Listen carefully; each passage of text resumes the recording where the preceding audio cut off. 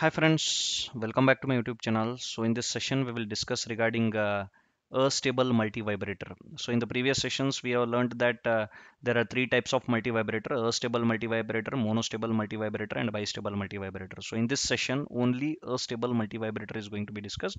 So in the upcoming sessions uh, the rest of the two that is bistable and monostable multi-vibrator will be discussed. So uh, let us uh, quickly start with the session. Before that, my request is to please uh, watch the entire session until end.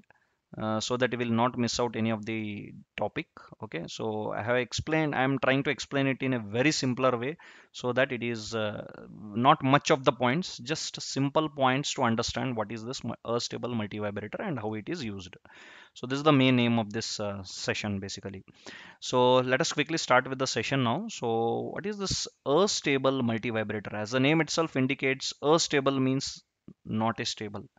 There is no stable state. Okay, that is why it is called as astable. Stable means, yeah, there is stability in uh, any of the state or any of the value or any of the const. Uh, I mean, any of the value. There is a some stability, stable behavior. That is called as uh, that is only stable. Okay, so in case of astable, that is opposite of the stable so that means there is no stable state itself for any of the circuitry. So in this context, uh, astable multivibrator means very easy to remember. Astable means not a stable state. The multivibrator, okay, the multivibrator which is not having any stable state is called as astable multivibrator. In a simple way, it is explained. Okay, so a multivibrator, uh, already multivibrator, what it means, why it is called so, and uh, why to study multivibrator itself? What are the reasons what are the uses what are the uh, different use cases and what are the applications is already discussed. Please uh, refer to that particular session in detail. So a multivibrator which is not having any stable state is called as astable multivibrator. Okay so hence the circuit is not stable basically i can say with this point okay. Circuit is not stable at all. This multivibrator circuit is not having any of the stable state. Then what it does? Okay. It is unstable. If it is not stable then definitely the circuit will be unstable. So how it will be unstable that we will try to understand now.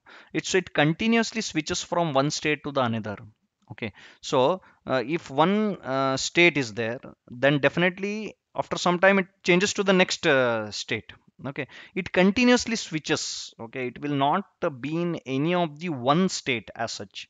So it will continuously change the state one after the other. If uh, one state uh, so what is the state and how it is changed and what uh, that maybe doubt will be occur is it? So the state which is referred here is nothing but the state of the amplifiers. Okay.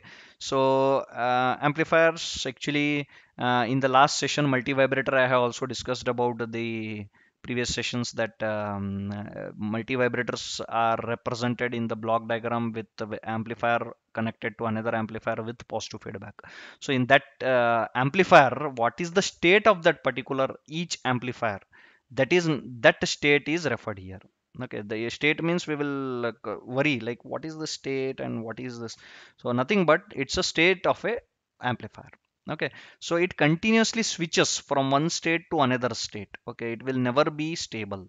So now we will try to uh, analyze this uh, behavior of the circuitry with the help of simple uh, diagram. Okay. So this is a stable multivibrator which i am highlighting now. So to this I am give I have to give input or not. In case of astable multivibrator, no input is required to be given. Because it is not stable only. If you give input also it is that doesn't make any difference. Because astable is already unstable.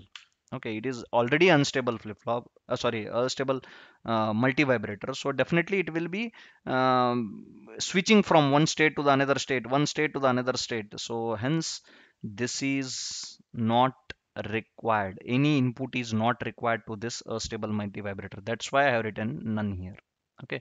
So none nothing is given as input to the multi stable multi-vibrator. And in turn without giving any input also i will give the, get this output. As you can see here the continuous changing state. So from uh, on state to off state on state to off state. So on state off state is of amplifiers or transistors i can say.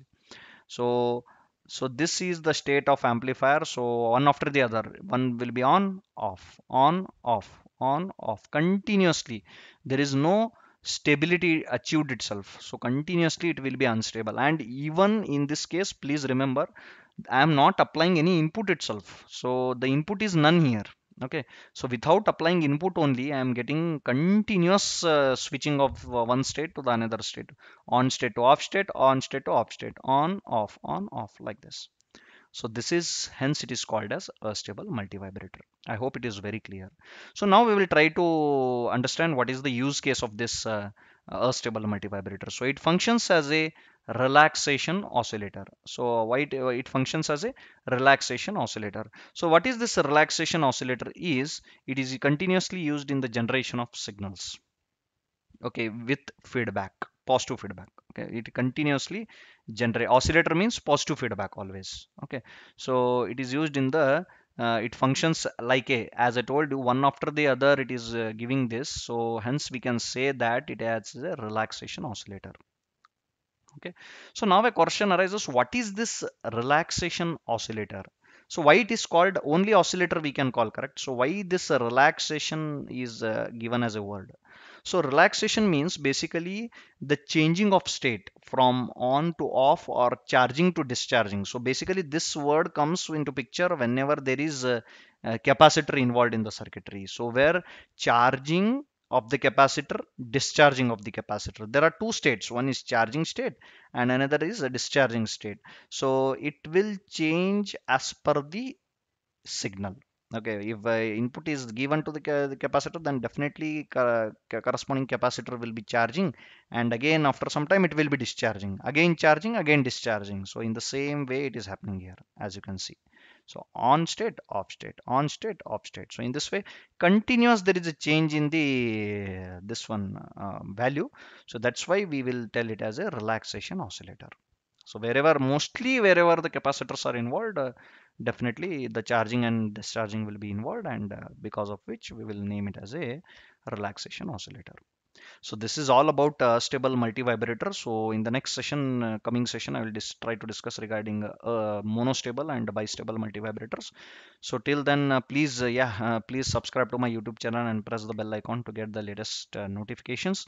And um, one more important thing is uh, if you want to learn any of the difficult topic uh, in entire electronics or in specific or physics in general please comment in the youtube comment section and i will try to cover uh, the topics related to that particular session and uh, uh, yeah mm, please like share okay? So yeah thank you. Have a nice day. Bye